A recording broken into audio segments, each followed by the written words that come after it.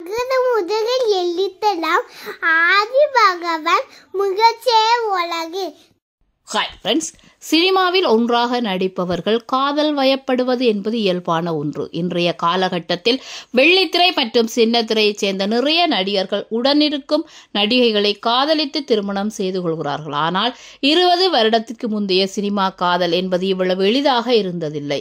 நடிகர்கள் மற்றும் நடிகைகளாக இருந்தாலும் இவர்களுடைய காதல் வாழ்க்கை மற்றும் திருமண வாழ்க்கை என்பது அவர்களுடைய குடும்பத்தை சார்ந்ததாகவே இருந்தது. இதனால் சினிமா நட்சத்திரங்களின் பல காதலர்கள் சேராமல் போனதாக நிறைய கதைகள் சொல்லப்படும். அப்படி ஒரு காதல் கதைதான் நடிகர் திலகம் சிவாஜி கணேசன் மற்றும் பத்மினி உடையது.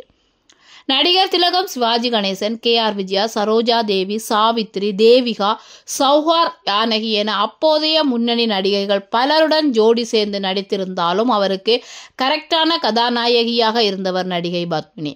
இந்த ஜோடி உண்மையிலேயே திருமணம் செய்து கொண்டால் நன்றாக இருக்கும் என்று அப்போதைய சினிமா ரசிகர்கள் ஏங்கும் அளவிற்கு இவர்களுக்குள் கெமிஸ்ட்ரி இருந்தது.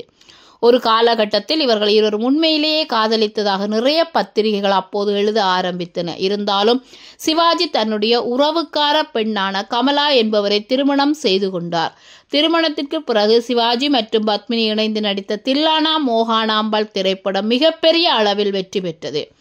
பத்மினி சினிமாவை விட்டு ஒதுங்கி அமெரிக்காவில் செட்டில் ஆகிய பிறகு ஒருமுறை அவரிடம் நீங்கள் ஏன் சிவாஜியை திருமணம் செய்து கொள்ளவில்லை? என்று கேள்வி கேட்கப்பட்டது. அதற்கு ரொம்ப நேரம் யோசித்த பத்மினி நாங்கள் எப்படி திருமணம் செய்து கொள்ள முடியும்? நான் வேறு ஜாதி அவர் வேறு ஜாதி என்று சொல்லி இயல்பாக அந்த பேச்சை முடித்து விட்டாராம். இவர்கள் இவருடைய கா இருவருடைய காதலுக்கும் தடையாக இருந்தது ஜாதிதான் என்பது தெளிவாக தெரிகிறது. மேலும் அந்த சமயத்தில் பத்மினி நன்றாக சம்பாதித்து வந்ததால் அவருடைய குடும்பத்தை சேர்ந்தவர்களுக்கு பத்மினிக்கு திருமணம் செய்து வைக்க விருப்பமும் இல்லையாம் இருவரும் வெவ்வேறு பாதையில் சென்ற பிறகும் தங்களுடைய தொழிலில் அது எந்த வகையிலும் பாதிக்காத அளவிற்கு சேர்ந்து நடித்து பல ஹிட் படங்களை கொடுத்திருக்கிறார்கள். மீண்டும் ஒரு புதிய தகவலுடன் உங்களை சந்திக்கிறேன். இந்த வீடியோ உங்களுக்கு பிடிச்சிருந்தா லைக் பண்ணுங்க கமெண்ட் பண்ணுங்க ஷேர் பண்ணுங்க. மறக்காம அந்த பெல் ஐக்கன்ல கிளிக் பண்ணுங்க.